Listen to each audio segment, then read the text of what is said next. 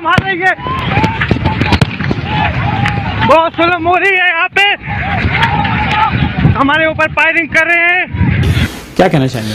सबसे पहले तो अख्तर शाहीन रेन साहब आपको और आपके चैनल को मैं मुबारकबाद पेश करता हूँ सलूट करता हूँ कि आपने इस मौजू पर प्रोग्राम किया।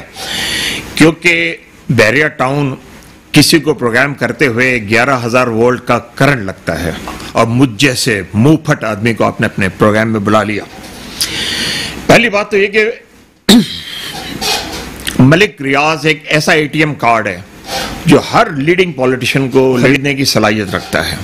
हमारा तो ईमान है कि हजूर सल्लल्लाहु अलैहि वसल्लम अल्लाह ताला के आखिरी नबी थे, और उसके बाद कोई नबी नहीं आएगा, कोई किताब नहीं आएगी। लेकिन अगर कोई नबी आता या कोई किताब आता, आती तो जिस तरह हमान फिरौन का ज़िक्र है मलिक रियाज का ज़िक्र ज़रूर होता।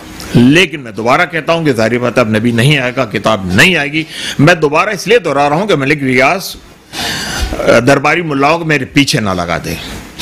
तो एक बात और ये कि पीपल्स पार्टी की आशीर्वाद के बगैर ये कुछ हो नहीं सकता। और इस पूरे क्राइम में जो कुछ हो रहा है बैरिया सिंध के अंदर, कराची के अंदर, इसमें पीपल्स पार्टी पूरी तरह मुलविस है। इसका चूँकि बहुत ज़्यादा हाइप क्रिएट हो गई सोशल मीडिया पर तो इन्होंने क्या किया? उन्होंने एक एसी को मुअत्तल कर दिया, एक एस को कर दिया, और एक मुख्तियार कार को। तो ये तो आई वॉश है ये तो फैसले जरदारी करता है, ये तो फैसले बिलावल भुट्टो करता है। क्योंकि इनको इलेक्शन के लिए फंड चाहिए। बिलावजे तो मलिक रियाज ने लाहौर के अंदर इतना बड़ा आलीशान महल बनाकर जरदारी को गिफ्ट नहीं किया था ना? तो ये तो सब इस तरह आपस में चलते हैं।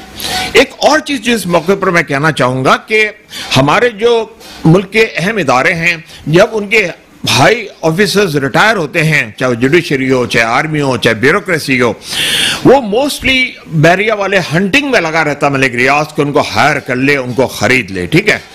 तो अब जब भी इनकी इन इदारों में उनकी वो हो, मुलाजमत हो तो एक एफिडेविट होना चाहिए कि हम यहाँ से निकलने के बाद मलिक रियाज की गुलामी नहीं करेंगे।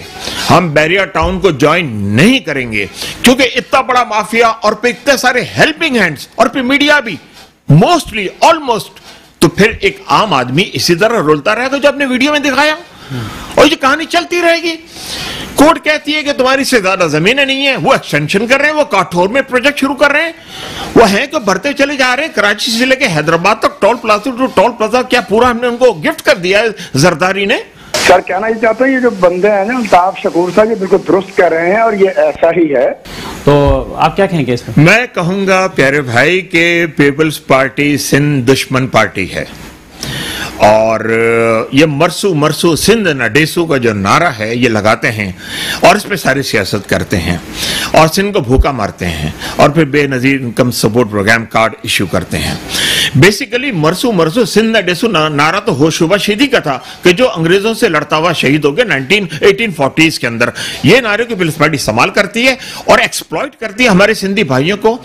और इसके बाद फिर क्या करती है कि सिंध जिसको कहती है कि मेरी माँ है राइट मेरी धरती है उसको उसको बेच देते हैं, बैरिया को उसको बेच देते हैं डीएचओ को। यहाँ तक कि क्लिफ्टन का अतराफ का जो साहिली पट्टी है, जिस पे लोग नहाते हैं, वहाँ फ़ेज़ एड बन रहा है। और हर आदमी जो ये प्रोग्राम सुन रहा है ना, कम से कम सोशल मीडिया पे अपनी आवाज़ बुलंद करे, क्योंकि एक और एक ग्यारह, एक और एक और एक एक सौ ग्यारह। अगर हम सब सरेंडर हो जाएँगे कि मलिक रियाज पंद्रह, बीस साल हो गए, कोई हाथ नहीं लगा सकता, कोई ये नहीं कर सकता, कोई वो नहीं कर सकता। अगर हम सब एक कौम हो जाए, हम सब मुतहिद हो जाए, ये को लड़ाया जो जाता है, सिंधी महाजिर पख्तून बलूच पंजाबी सराय की शिया सुन्नी देवबंदी बरेलवी क्यों? ताकि हम आपस में एक ना हो सके जुल्म के खिलाफ। वज़ीर आज़म इमरान खान दौरा करें जद्दा का मैं कहता हूँ अगर वापस आकर सीधा यहाँ पे लैंड करें। अब तो यहाँ पे एक बेल्ट भी बन गई है। नूरियाबाद के पास यही लैंड करें तैयार अपना और पहुँचे वहाँ पर मिले उनके साथ। फाइनली अब क्या कहना चाहेंगे आप? मैं कहना ये चाहूँगा कि कोई इदारा तो इनको लगाम दे।